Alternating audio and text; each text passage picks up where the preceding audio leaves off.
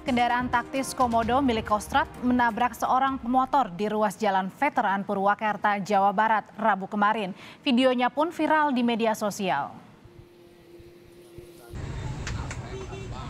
Tadi adalah video yang merekam saat kendaraan taktis Komodo milik Kostrat melintas di ruas jalan Veteran Purwakarta. Dalam visual memperlihatkan kendaraan taktis Komodo milik Kostrat tiba-tiba saja menabrak seorang pemotor yang berada di sampingnya. Akibat kecelakaan, seorang pemotor meninggal dunia, sementara satu lainnya yang merupakan anak di bawah umur selamat.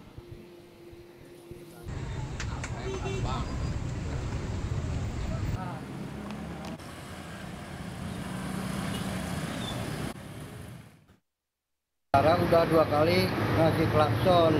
Mbak itu seperti nyamperin ke kanan, tahu menghindari lubang atau apa ya. Tiba-tiba nyarinya ke kanan, ngambil ke kanan.